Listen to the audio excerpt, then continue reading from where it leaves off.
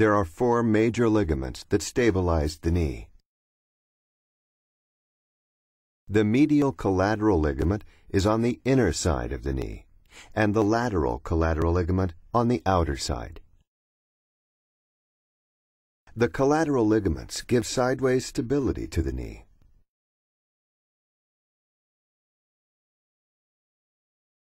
Two ligaments cross in the center of the knee.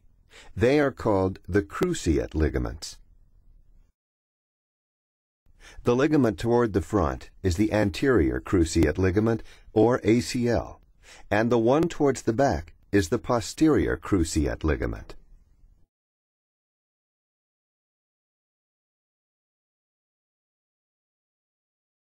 The ACL prevents the lower bone, the tibia, from moving forward, and the PCL prevents it from moving backward.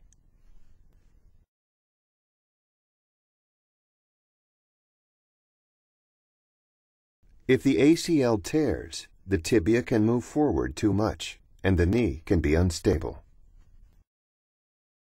The knee in which the ACL is torn tends to give out when pivoting or quickly changing direction.